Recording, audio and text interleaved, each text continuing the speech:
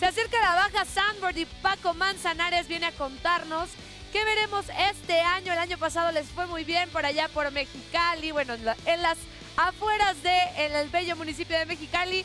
Y viene Paco para contarnos qué pasó y un poco de skate también. Mana, esto y más aquí en Adrenaline Extreme. Comenzamos.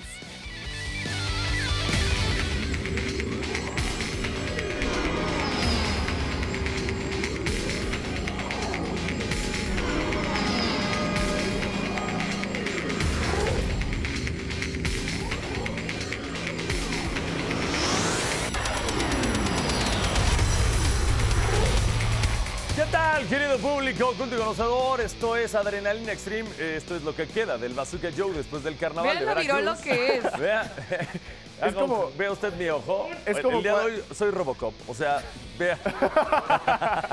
Un ojo ve a una cámara y el otro ve a otra. Dios señoras mío, sí señores. te ves muy mal, Tengo te una golpearon. no sé. Este, no, pues la verdad es que la fiesta estuvo increíble y no sé en dónde agarré esta infección. La. ¿Quién te la pegó? Sí, ¿quién te la- Qué bueno que la, que la agarraste en el ojo y no en otra parte. ¿Una, ¿Una perrilla se te pegó? Se me No, pegaron esas fueron varias. muchísimas. Se me pegaron varias en realidad porque no sé por qué tengo una facilidad, fíjate. se- se, Ay, me da. Dios mío. Lo bueno es que me no dan te las salió perrillas. joroba y empezaste a Se me caminar. dan las perrillas, querido público. Pero bueno, el día de hoy, como ya vieron, tremendo programón tendremos aquí en Adrenalina Extreme y vamos a arrancar con el, el Sandboard, ¿no? El Sandberg y Paco Manzanares. Bueno, yo, yo al menos yo quiero recordarles mis redes sociales. sí, arroba Ah. Perdón, Navidad. es que es tan gris. Es tan no, gris no, no, Navidad es que estás tan crudo que no entiendes Sí. co- que sigue el programa. Además, no eches yo, la culpa a yo quiero cambiarlo a Navidad oficial. Sí, es lo yo que creo que es estamos- el siguiente paso. Navidad Estamos intentando encontrar la manera de que Yavidán no sea tan nadie. No, Pues la nadie única forma, no, yo te amo, ya lo Ya sabes. lo sé. La única forma de encontrar el lugar de Yavidán es cambiar una tercera vez su Twitter. Entonces, vamos a intentar ver si arroba Navidad oficial con doble F para que crean que es como gringo. Gringo. Eh, ¿qué Navidad official. Official, Y, quiero que me lo certifiquen ahí. entonces Sí, no está. te van a certificar Además nada. estamos a 100 días del Mundial. No se despeguen de TDN y Univisión TDN porque tenemos 10 partidos en exclusiva para todos ustedes. Exactamente. 10 partidos en exclusiva a través de TDN, por favor, seguimos buscando patrocinadores que nos lleve al Mundial. Podremos, este, podríamos hablar de, bueno, los deportes extremos alrededor de Brasil. De tu ojo. Podemos hablar de mi ojo. Podemos hablar de, bueno, hay cantidad de cosas. No, Así es señores, que, miren marcas. Si hay alguna si no aguantó el carnaval Mira, de por ejemplo, Veracruz, mira, por a mí ejemplo, no aguanta Brasil. Under Armour, Under Armour, Under Armour po- podría ser una bonita marca que, que nos llevara, ¿no? Pero Unos tres por bazooka ir. que está atrás de esa infección. pobre Bazooka, el día de hoy será muy bueno. ¡Carajo! Déjenme de molestar, chamacos, maldita sea. Respeten Bueno, a su ya padre. vamos a ver eh, este Open del Sandboard. En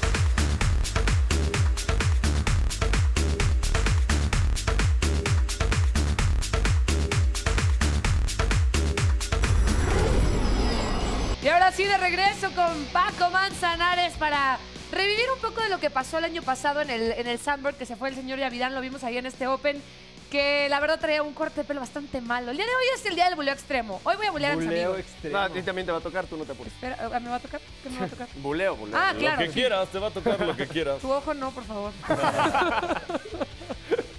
Oye, No, está, intenso el buleo. Te Oye, puedo ver con uno, ¿eh? O con mi ojo el grande. o con mi O con ojo mi- el grande.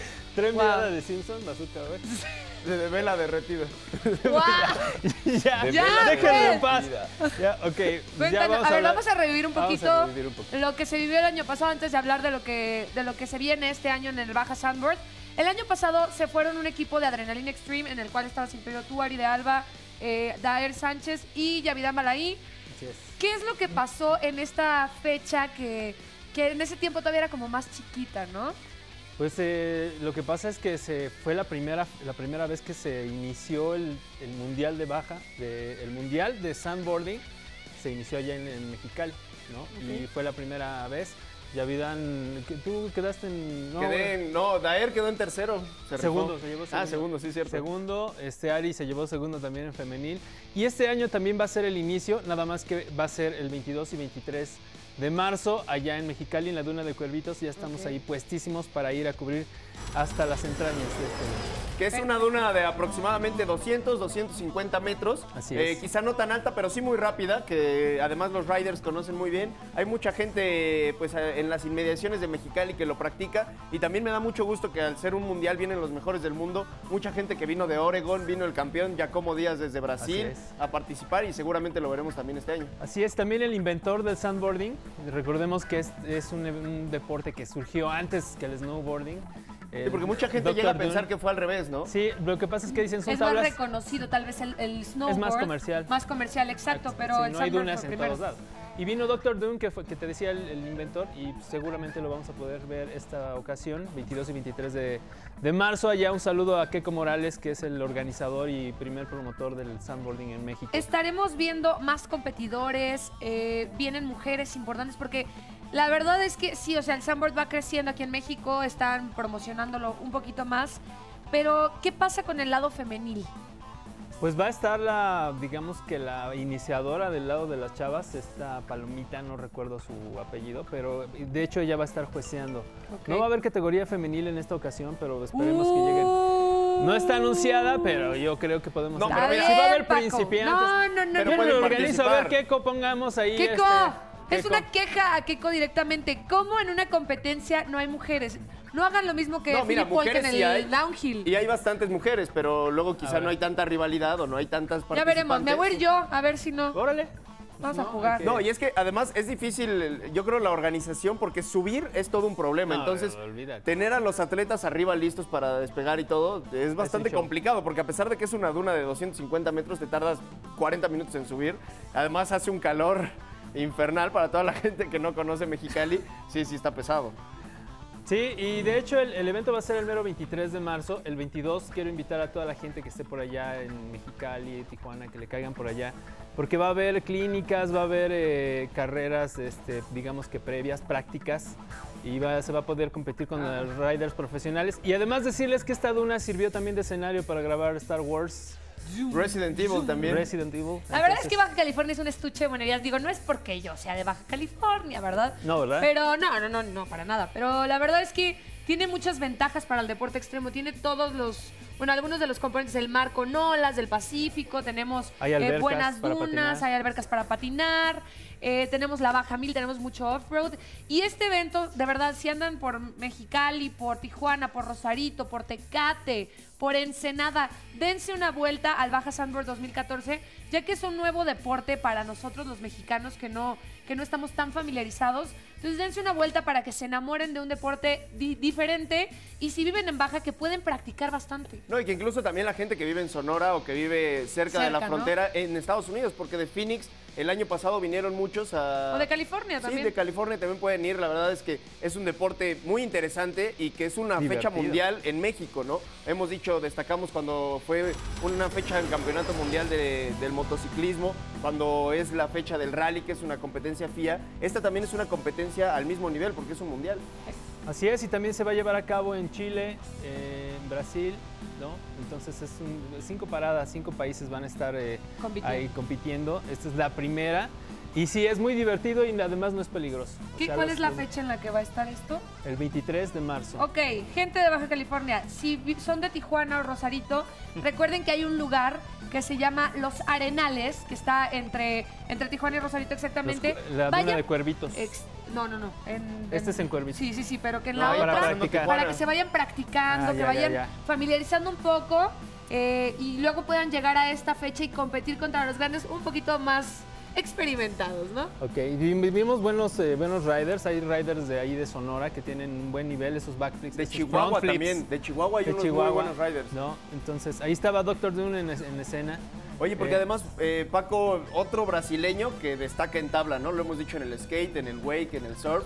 Y Pues, otro deporte de tabla que un brasileño es el mejor. Así Oye, es, yo la, verdad, yo la verdad los, ve- los veo en la arena. Todo el tiempo están en la arena. Mira, en Navidad. Wow.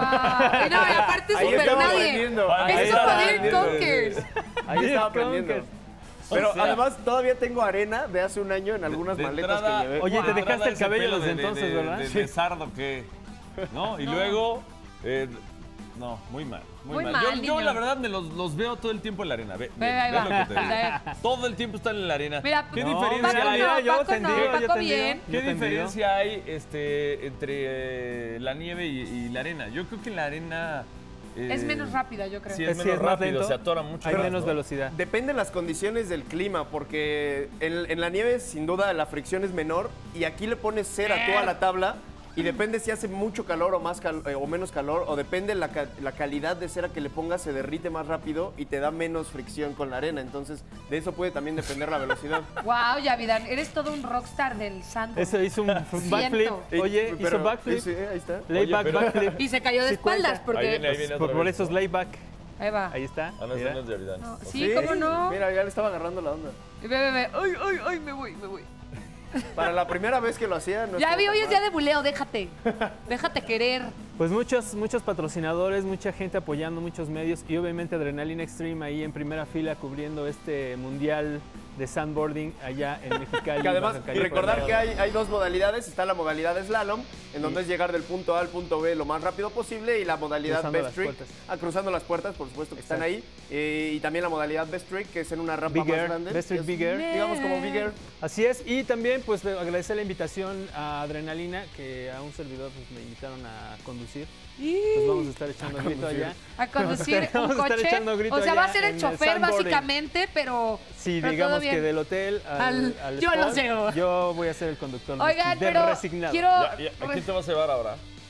Pues está, ya sé, Yo. acá, este, Oye, pues no sé, el productor, este, muy Ya, contenta, ya, ¿qué ya pasa? Hay que Vidal echar un quiere- volado. Yo, yo soy- Daer estaba puesto, no sé, a la mera Yo hora me, me gustaría va a irme, haber una tómbola, a ver quién va, A mí me gustaría irme, pero Una otra vez quiero decirle a la gente, vayan a este evento.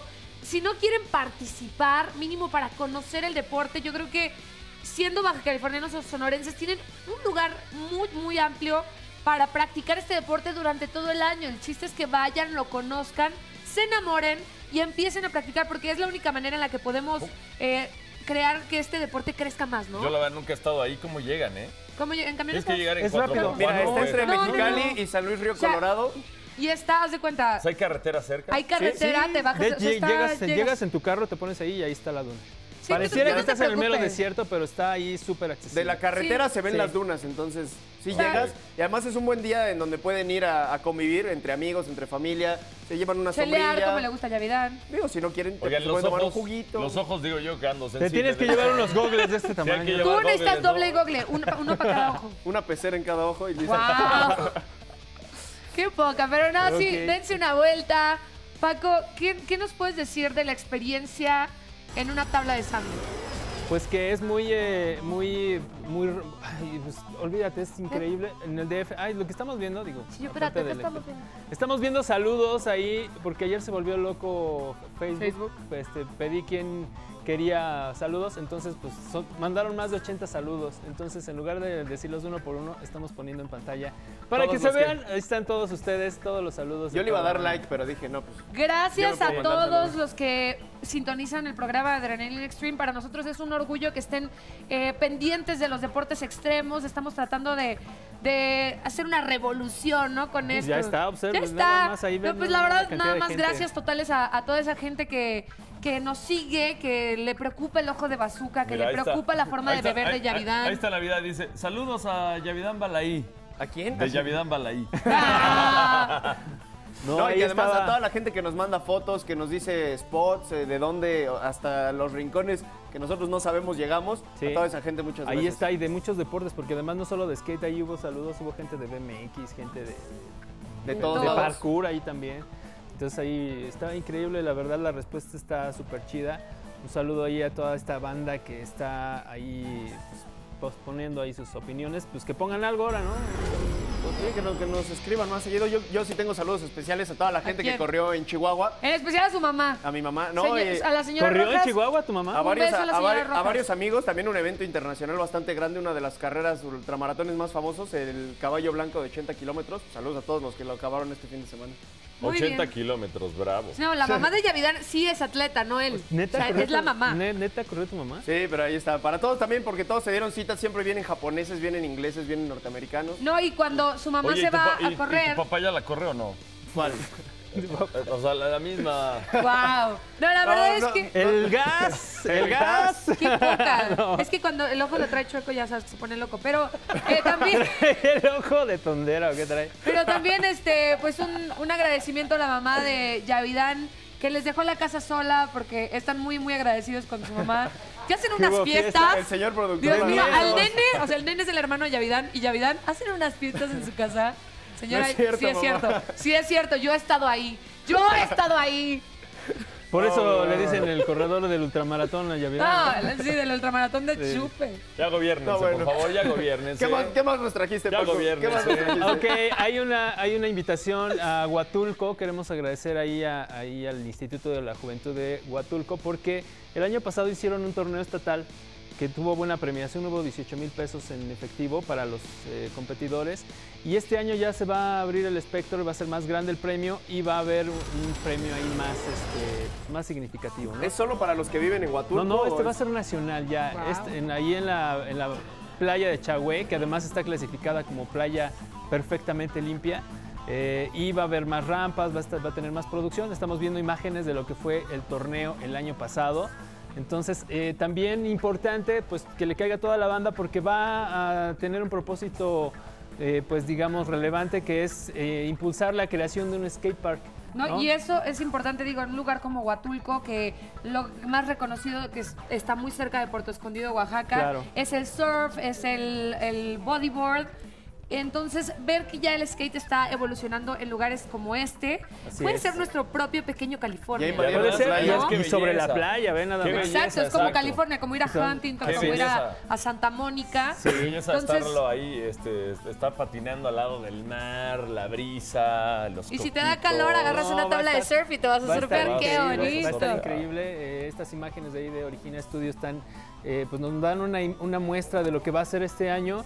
Eh, me gustaría que fuera un torneo grande y, y invitar a toda la banda, por favor vayan, porque de verdad crear un skate park en Huatulco va a ser muy importante. Un reconocimiento ahí a la banda de skaters Huatulco, que son pues Y los que están gobierno. promoviendo, obviamente, pues ahora sí al gobierno, ¿no? Gracias, No, al gobierno. municipal Ahora sí, de cuan- Huatulco. Cuando, se le reconoce hay que aplaudirlo, Claro, ¿no? que lo sí, hace sí. muy bien. Y además que la playa sea una de las playas más limpias de México. También estuvimos en Playa El Chileno, que es la playa más limpia de Latinoamérica.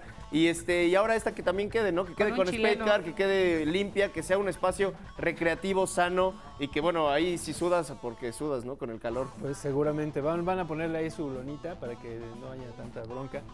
Y va a haber una, va, va a mejorar mucho la producción en este Paco, en yo este siempre he año. tenido una pregunta que va a ser muy tonta. ¿Por qué a veces avientan la tabla como, o sea, agarran la tabla y le pegan al piso? Pasa que es como, una, ¿Un como un impulso, no, no, es un impulso. Cuando no te sale el truco y que estás, sientes todo, todo el coraje, entonces Ajá. digamos que agarras lo primero que tienes a la mano y a veces te arrepientes, ¿no? Sí, porque de rompe, repente- pues, han llegado a romper tablas, me supongo yo. No, de ese golpe no se rompe No. el tablero, Ah, ok, pero bueno. sí, sí No, se rompen es- caras. Es sí se como, el, rompen es como el. ¡Pum! Si te llega a tocar ¡ay, es- venga! Eh, Es como dar un golpe así en el puño. Pero es también, mesa. es como un, es como un güey. O sea, tiene muchos significados. Porque yo los he visto festejar pegando. así, pegando, pam, pam, pam, pam. También. O también los he visto golpear de frustración pegando. También. También es como. Es que somos como muy, este...